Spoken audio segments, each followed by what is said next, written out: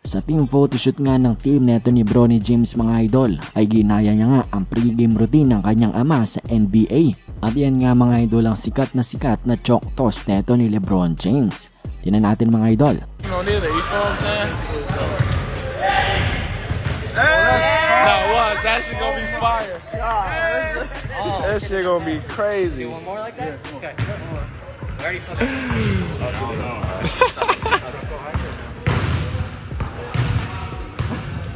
This is this, this is how Cam this how Cam catch the greatness, y'all. Um, I hope y'all know.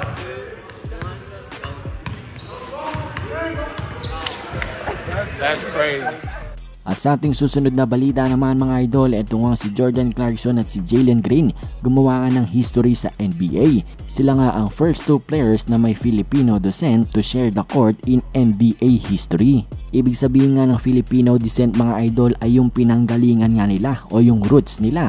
At sa case nga nito ni Jalen Green at ni Jordan Clarkson ay yung kanilang mga magulang. At sa resulta nga ng paghaharap nito ni JC at ni Jalen Green mga idol, panalo ang team ng Utah Jazz 122 to 91.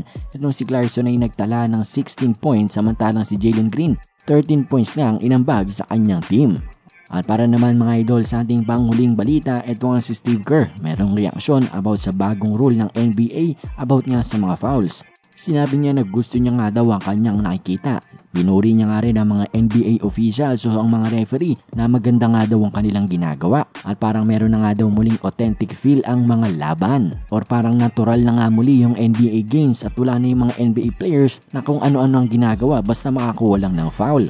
At sa tingin ko rin mga idol, maganda nga talaga itong ginawa ng NBA na to. Mas lalo ngang magiging fair ang laban pagdating nga sa mga defender at hindi na nga rin sila mabibigyan ng basta-basta na foul. So yun nga muna mga idol ang ating mga balitang NBA ngayon. Maraming nga salamat sa inyong panonood. Bye!